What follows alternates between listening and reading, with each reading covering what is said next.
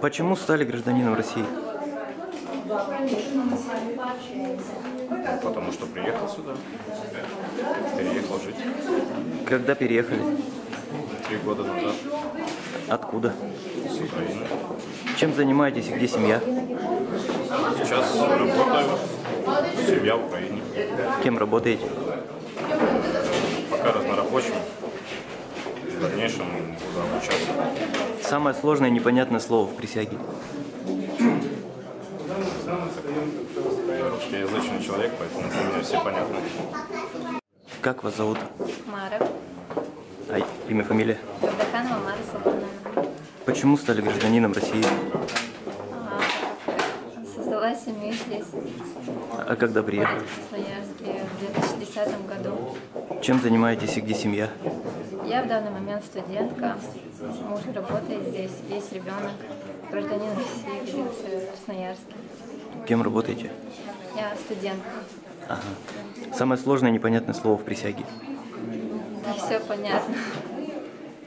Почему стали гражданином России? Ну, как-то родились мы при Советском Союзе. И раньше жили, был Советский Союз, потом он распался. И как бы сами мы из Казахстана. Во-первых, языковой барьер. Ребенку идти в первый класс, программа тяжелая. В принципе, из-за будущего детей вот решили переехать. Чем занимаетесь и где ваша семья? А, Вообще в России пока я еще не устроилась на работу.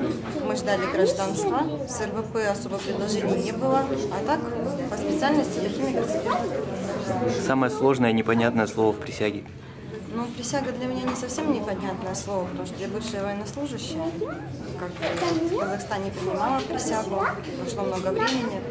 Присяга для меня это смысл вообще этого слова как глубокий. Что такое присяга? Ну, наверное, исполнение законов, не нарушение законов, защита Родины. Вот, наверное, вот это все-таки. Почему стали гражданином России? У нас очень много родственников Российской Федерации, в том числе вот и в Красноярске. Нас очень долгое время не звали, потому что мне этот город очень понравился, так же, как и страна. Я был во много городах, но город Красноярск мне очень сильно понравился моей семье. Это великая страна. Это не, не только моя мечта. Очень много великих людей принимают гражданство. Я к этому тоже долгое время стремился. Наконец достиг этой цели вместе со своей семьей. Чем занимаетесь сейчас и где ваша семья? Моя семья сейчас все вместе со мной здесь. Все вместе мы сегодня приняли гражданство. Откуда вы приехали? С города Ташкента приехал в Узбекистан со всей своей семьей. В настоящее время, пока ждал гражданской федерации, получив гражданство, теперь смогу устроиться на работу, а по профессии я преподаватель истории. Самое сложное и непонятное слово в присяге. Сложностей нету, присяга очень легкое, удобное произношение. Рус- русские сразу знали, да? Еще с Со- Советского Союза. Ну да, я родился в СССР, но сложности для меня не составляли. Как вас зовут?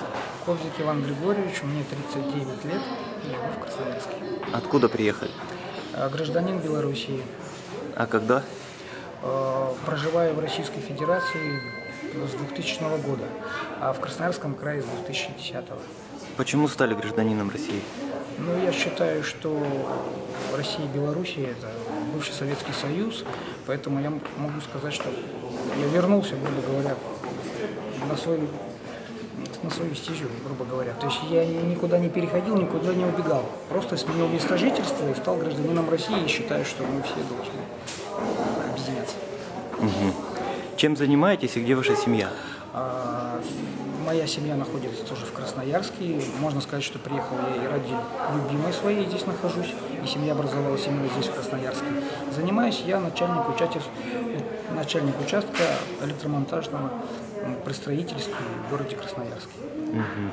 Самое сложное и непонятное слово в присяге. Думаю, что все слова подобраны грамотно, и присяга сделана очень хорошо, поэтому ни одного слова там лишнего нет.